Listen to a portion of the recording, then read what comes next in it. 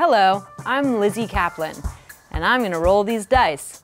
And then I'm gonna tell you a story based on what we learn from said dice. Funniest TV role?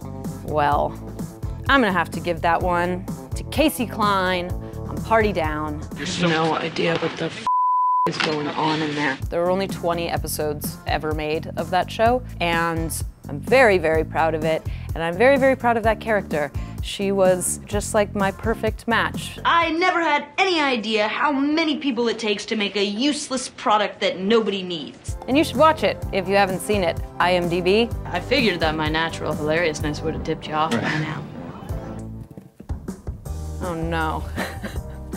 Scariest castmate. I was really scared to work with Michael Sheen on Masters of Sex. Audacious, tireless, dedicated, and brilliant. Partly because when we first met at this lunch, he had just played Jesus Christ in a passion play that he created in his hometown in Wales that had 2,000 townspeople also participating in the play. I both understand and sympathize. And I had just done a movie with Dane Cook. What are you doing here? What is he doing here? Next, most memorable scene. I'm gonna have to do another Masters of Sex one, actually. Think of the publicity, Bill. It was the moment that uh, we scratched our head about uh, a bit on Masters of Sex, uh, a show that I'm very, very, very proud of and stand behind. But this particular scene was a man in a gorilla suit. There was a female gorilla. That was the guy's son in a girl gorilla suit. I had to take my top off to try to get the male gorilla in the mood to have sex with the female gorilla, again, played by his son, and then uh, they simulated gorilla sex in their, in their outfits. It does sound like fun, doesn't it, Bill? Unexpected Hollywood encounter.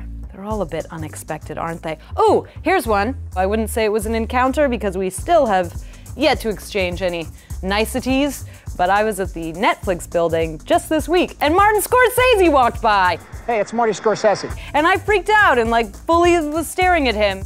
There's not really something I wish I had said because it would have gone badly. I don't understand. I don't think there's any story where somebody goes up to Martin Scorsese in a lobby of a building, You got a minute to talk? says the magic combination of words that lands them their dream job. And I'd love to offer you a part in my new picture. I feel like it's probably like, oh, you're amazing and I think you're amazing. And he goes, yeah, nice to meet you. And then, you know, shuffles away quickly. I know that he's listening, but somehow it's not enough. So now you know everything about me. That's the story, soup to nuts. If you would like to see more of me, if this little taster isn't enough, then tune in to Castle Rock on Hulu and Truth Be Told on Apple TV. Those are channels.